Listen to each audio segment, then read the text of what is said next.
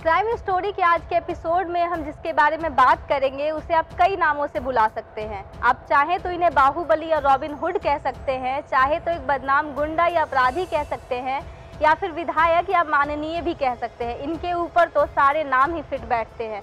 हम बात कर रहे हैं बिहार मोकामा के विधायक अनंत कुमार सिंह उर्फ़ छोटे सरकार की। इनकी कहानी बॉलीवुड की हिंदी फ़िल्मों की तरह बिल्कुल मसालेदार है। एक बदनाम गुंडा जो नेताओं को चमकाते चमकाते खुद कैसे नेता बन गया, इस एपिसोड में हम उसकी पूरी कहानी जानेंगे।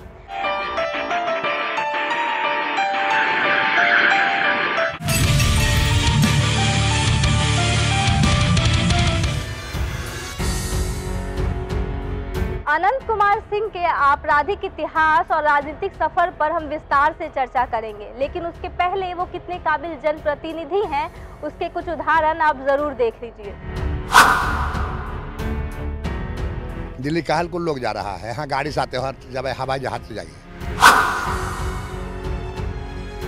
बाहुबली हम नहीं हैं। बाहुबली जब हम होते का जो बोट लूट के बनते तो कहते बाहुबली हैं।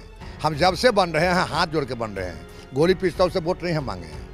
न कोई व्यक्ति कहेंगे। क्या ना सिंह हमको कहें कि थोड़ा वोट देवे पड़ता हो। इहो व्यक्ति को मिल जाएँगे तब भी बड़का बात है।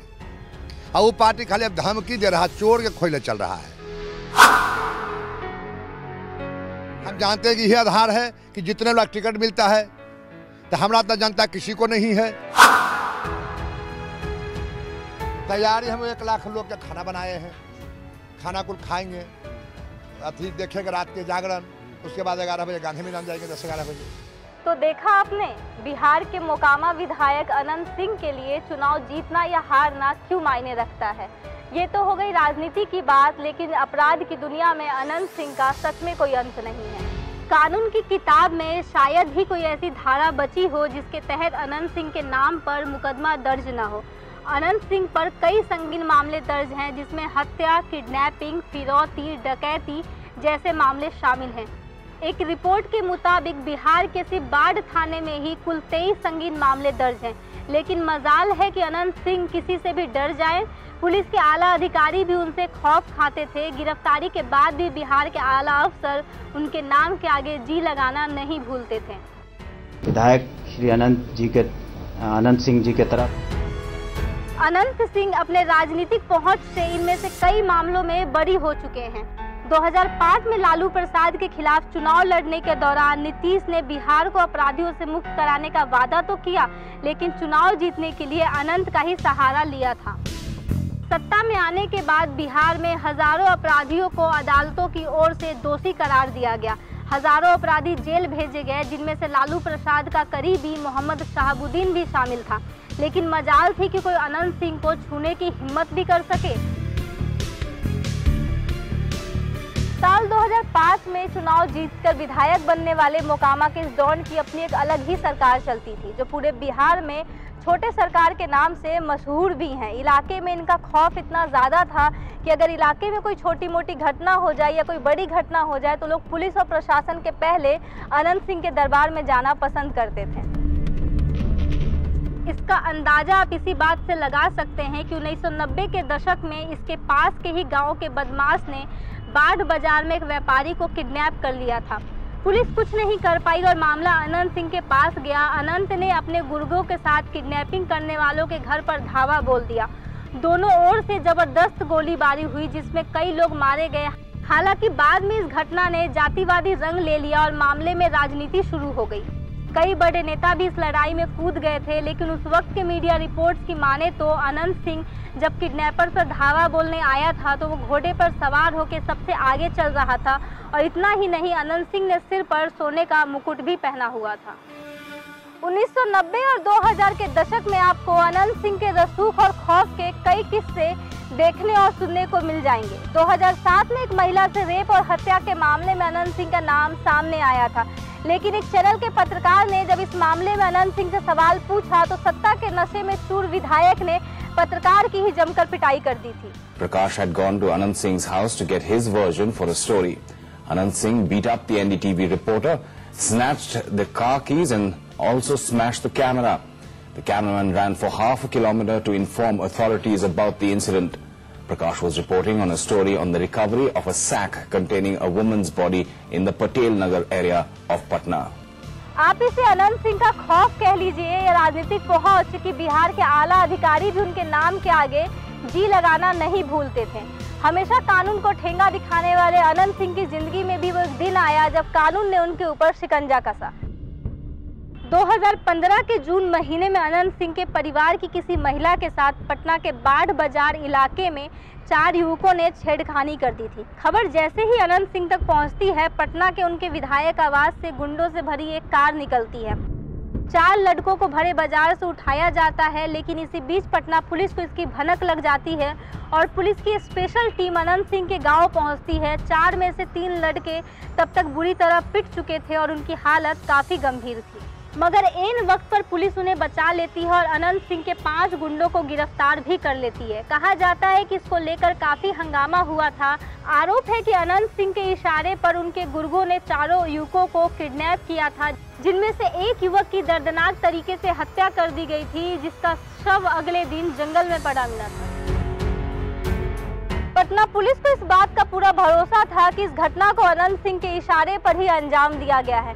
लेकिन अनंत सिंह को गिरफ़्तार करने और उनके खिलाफ सबूत जुटाने की हिम्मत किसी में भी नहीं थी और इसी आस में वक्त दिन प्रतिदिन बीतता चला गया। लेकिन आखिरकार 24 जून की शाम अनंत सिंह को गिरफ़्तार कर ही लिया गया। लेकिन पटना पुलिस के लिए अनंत सिंह की गिरफ्तारी इतनी भी आसान नहीं थी।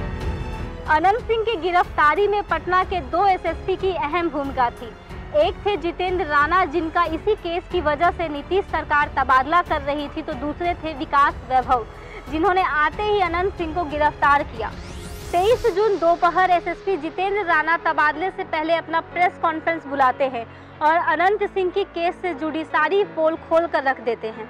इसके बाद जब नए एसएसपी विकास वैभव आते हैं, सबसे पहले उन्होंने अनंत सिंह के घर के तलाशी के लिए सर्च वारंट लिया और 24 जून को पटना के अलग अलग जिलों में फोर्स इकट्ठा कर अनंत सिंह के घर की तलाशी ली। तलाशी के बाद घर से कई सबूत बरामद हुए और इसी दिन शाम को अनंत सिंह की गिरफ्तारी हुई। इसके बाद रात को ही उन्हें मजिस्ट्रेट के सामने पेश किया गया और जहाँ से उन्हें 14 दिनों के लिए न्यायिक हिरासत में उसी बेऊर जेल में भेज दिया गया, जहाँ पहले भी अनंत सिंह रह चुके थे।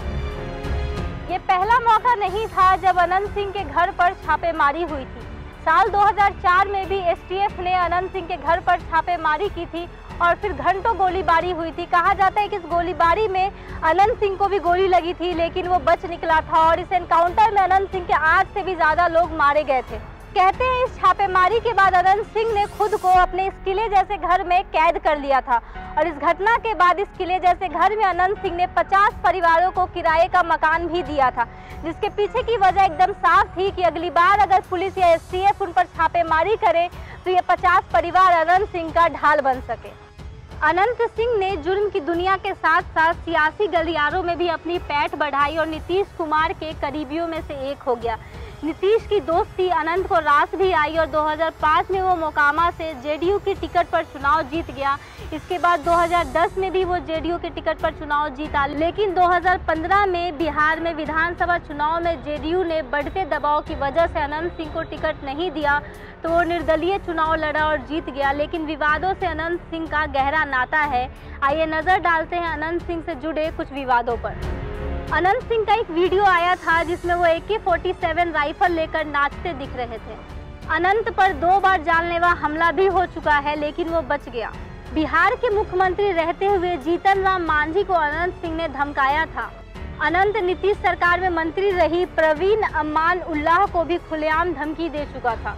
2013 में अनंत उस वक्त चर्चा में आया जब वो अपनी लग्जरी कार को छोड़कर बग्घी पर सवारी कर विधानसभा पहुँचा था।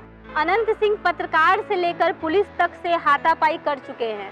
2013 में अनंत सिंह पर पटना के पौष पाटलिपुत्रा कॉलोनी स्थित अपने होटल के सामने अतिक्रमण करने का भी आरोप लग चुका है। विधायक बनने के पाँच साल बाद ही अनंत सिंह की संपत्ति कई गुना बढ़ गई थी। 2007 में जानवरों के मेले में अनंत सिंह लालू प्रसाद यादव का घोड़ा लेकर पहुँचे थे। लोकसभा चुनाव 2019 के पहले अनंत सिंह ने ये दावा किया था कि वो मुंगेर लोकसभा सीट से कांग्रेस के टिकट पर चुनाव लड़ेंगे। लेकिन कांग्रेस ने उनके आपराधिक छवि को देखते हुए उनको न टिकट देकर, बल्कि उनकी पत्नी नीलम देवी को टिकट दिया है।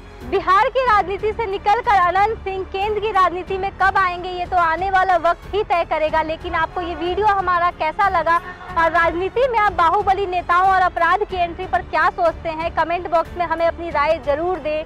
और अगर आप ये वीडियो हमारा यूट्यूब पे देख रहे हैं तो हमारे चैनल को सब्सक्राइब करें और अगर फेसबुक पे देख रहे हैं तो हमारे पेज को फॉलो करें और देश दुनिया की तमाम बड़ी खबरों के लिए बने रहें लोकमत न्यूज़ हिंदी के साथ।